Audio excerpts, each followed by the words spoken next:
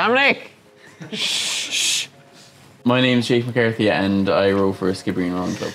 And I'm Fintan McCarthy and I row for a Skibbereen Rowing Club also. We are in the light men's double at the moment. We made a really big effort this winter just to get a lot fitter and kind of close the gap between us and the more senior teams. It's kind of stacked this year with all the senior athletes going into the double for qualifying year. And we, we came fifth at under 23s in the double and we came fifth in the Europeans at seniors. So it was nice to know that we're kind of up there at least. So hopefully we can get a bit faster now for the rest of the season.